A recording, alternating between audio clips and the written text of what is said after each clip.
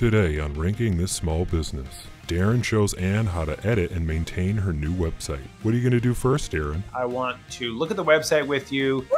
I'm going to show you how to use the back end. Uh, we can make some notes about some little tweaks to make. We can actually try to make some of those tweaks. To- That's what we want to try and cover today. Well, before I met you, Darren, you know, I was one of those business owners that was very intimidated by this part. Sure. I mean, I mm-hmm. remember when I wanted to change out a photo, I had to call my web person and like ask him to do it because I didn't know how. So it would be very empowering to be able to make small tweaks like this and like know mm-hmm. how to do it on your own without having to pay somebody the Boku bucks to do it. The Boku bucks. Yeah, it was a nice French word there. so, so, yes, these are your pages. So you have your home here. Let's start with your home page and let's just view the page. This is what it looks like. Uh, it's an actual web page, not just a Figma file now. So it's very nice to see it. It's all functional, like you know, all of this is all working. It's it's a website. There's two ways to edit a page. So if I go back here, I can just click edit, which goes to the WordPress editor. But there's also edit in Breakdance. And so Breakdance is your editor. We're going to do that. We're going to go edit in Breakdance. It's like as if you were editing it in Microsoft Word or something. It's all these little highlightable sections. And you're like, oh, I just want to change this text. You just click it and go over here and change the text. Oh, We live- wow. We live our passions. There, I changed the text and let's go to this box and there we go and modify. So on the top right here, I click save. It's it's honestly as easy as that. Okay, because when I tried to edit it before, it looked like really um, codish and back officey, and, and it looked really scary. But that's really user friendly. Well, the nice thing is, I think you have seen how easy it is for you to manage your website in Breakdance. Yeah. I have a question for you. I just hit the contact page. Are you left wondering, where do I go? What am I supposed to do? Kind of. You have to know that you have to scroll to get to this contact page. And this whole website has been designed so that this header image is specifically taking up the full height of your browser. Well, back, back in the day, it was cool to have that. It was cool to just have like a bam image, and then like you just scroll down. I don't want someone to hit your services page, be like this, and be like, oh, that's it. Right. You don't know to scroll. Yeah, no, a lot of people probably don't know to scroll. I would rather just not make the header image take up 100% of the height to make it take up something more like 70% of the height. I'm open to seeing that. So at 70%, it would kind of look more like this. See, that's better because then then you can see that there's more text at the bottom and it's logical for you to go down. Do you have any questions or does it all look pretty straightforward? It all looks pretty straightforward and I'm kind of excited to dig in and play around with it. Maybe I'll just show you one more thing. I'll show you the blog. So you'll go into the post section on the left hand side here, and then here they are. These are all your blog posts, right? Well, let me ask you this, Darren. Is that like out of style? Because I read recently somewhere that like blogging is out of style, but at the same time, I feel like fresh content will always be in style.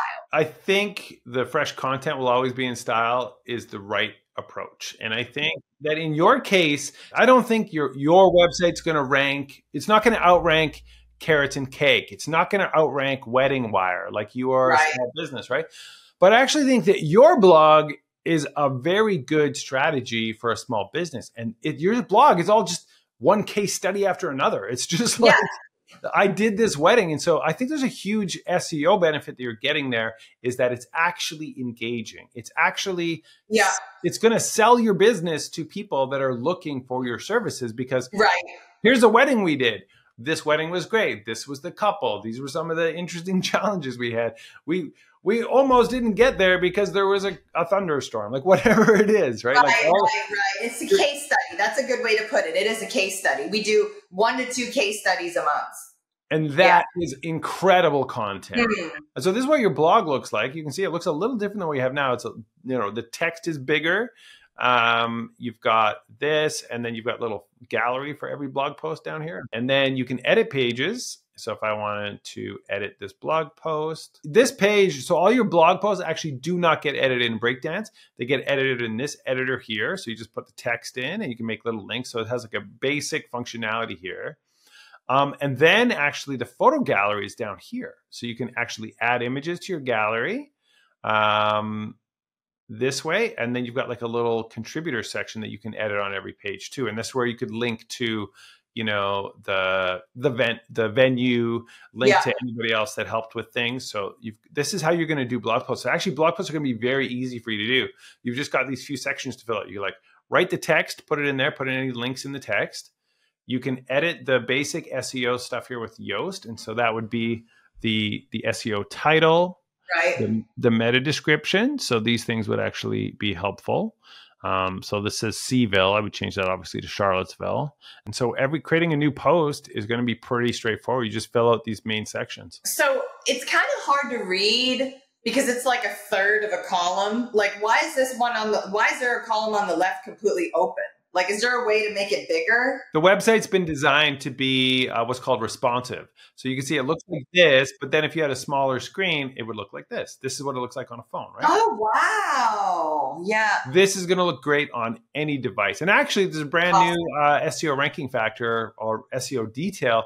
Google has said that starting July something, they're not even going to index websites that are, aren't mobile friendly. You will not rank in Google if your website doesn't appear good on mobile phones. oh my gosh! Get your websites quick fixed now. Do it now. All right, so I think I showed you the website. I showed you the blog. Um, we have some tweaks to make, but I'm really excited, and I think let's try to get these tweaks done like in the next few days here, Okay. and then pull the trigger. Let's get this thing up and running. I think it's. I'm great- excited. and it looks so much better. It's so pretty. Thank you, Anne, and uh, we'll see you next time. Thank you. Bye.